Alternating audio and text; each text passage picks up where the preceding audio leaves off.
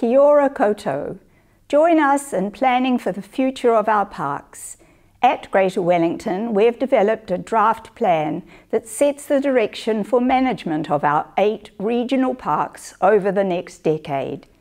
We asked you what you liked and what you wanted from your parks, and we used your feedback to develop a plan that focuses on restoration, recreation, and supporting community work. These are your parks, and this is your plan. So have a look at our draft and tell us if we've got it right. There's so much to love about our parks, and together we can plan for an even better future.